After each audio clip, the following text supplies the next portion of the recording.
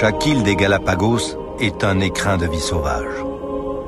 Nicolas va rejoindre le biologiste Laurent Balesta pour aller nager avec les otaries, découvrir sous l'eau le poisson chauve-souris, le requin hétérodontus et de vieilles créatures de plus de 9 millions d'années que Darwin appelait les diablotins de la nuit.